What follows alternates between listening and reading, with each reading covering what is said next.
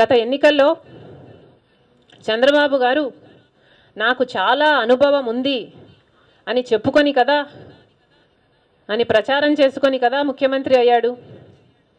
దేంట్లో అనుభవం ఉంది? వెన్నుపోట్లో అనుభవం ఉంది.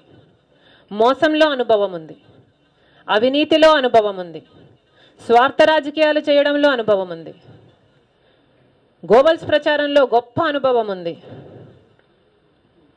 ఆడ మగ తేడా లేకుండా క్యారెక్టర్ అసాసినేషన్ చేయాలనుకోవడంలో అనుభవం ఉంది. హత్యలు చేయడంలో అనుభవం ఉంది. లేదా హత్యలు చేసిన వారికి అభయం ఇవ్వడంలో అనుభవం ఉంది.